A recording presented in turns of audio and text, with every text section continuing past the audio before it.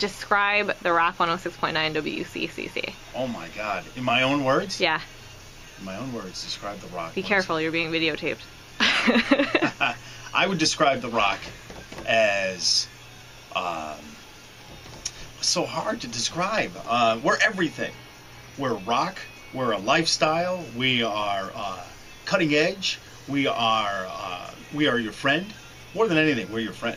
You turn the radio on, and you may not like all your friends, but there's bound to be somebody here that you like. and we're your friend. We get you through your workday. We get you through your evening. We get you through your weekend. That's what we're here for. We're here to play your requests and give away prizes and stuff. And uh, I would describe The Rock as your friend. WCCC is a multi platformed uh, organization that solves marketing problems. What sets us apart from other radio stations? The Rock is the only rock station. We play new stuff, we play old stuff, we've been doing it forever. We're live and we're local.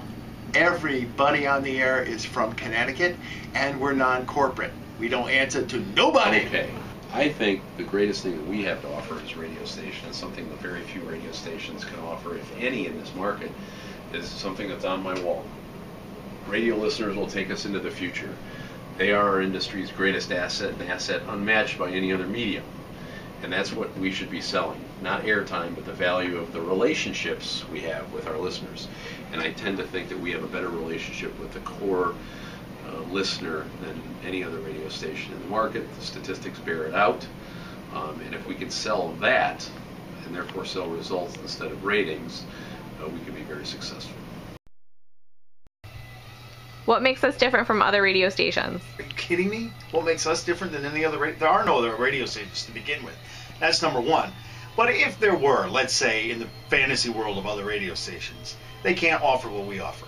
We offer the best personalities, from morning show with Raven to me in the middays, uh, Clonk in the afternoons, Craig at night, our weekend jocks like Rick and uh, whoever else we have on the weekends, Steve Wayne, of course.